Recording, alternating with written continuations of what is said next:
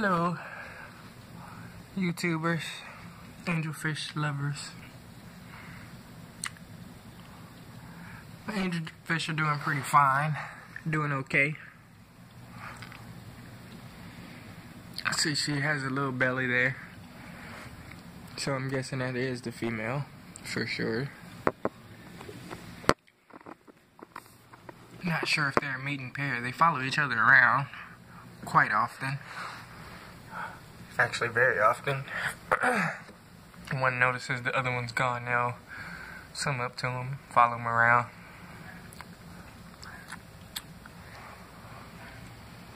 Yep. They're doing okay. No babies yet. Don't think they're old enough to spawn yet, but we'll see hopefully sometime soon they'll be producing some babies.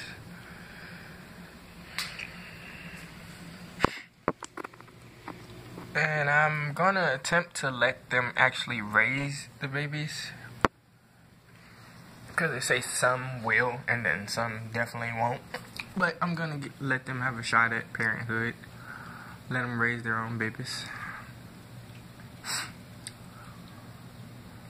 But yeah, that's what's going on with them. As they circle the tank.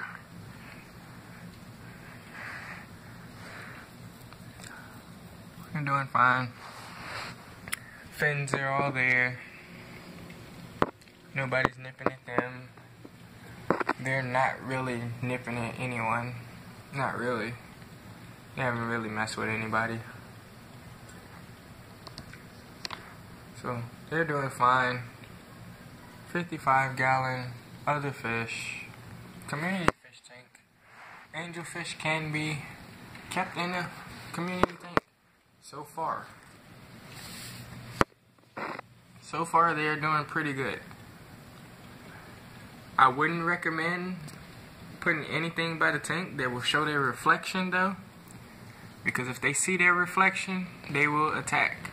They will get mad or stressed out. So if your tank has some kind of mirror by it or anything that'll reflect their reflection, they will get mad. And if the other fish, like if he goes by that, I guess she gets jealous and she will try to attack the mirror or her reflection, whatever. She tries to attack it. But, yep, you know, other than that, they're not really aggressive right now. They haven't spawned, so pretty sure they might get aggressive then, but sorry about the glare. They're doing okay. Nice fish. Oh. That's nasty. Just eat your own fish poop. But, yep, that's what's going on. Catch you guys later.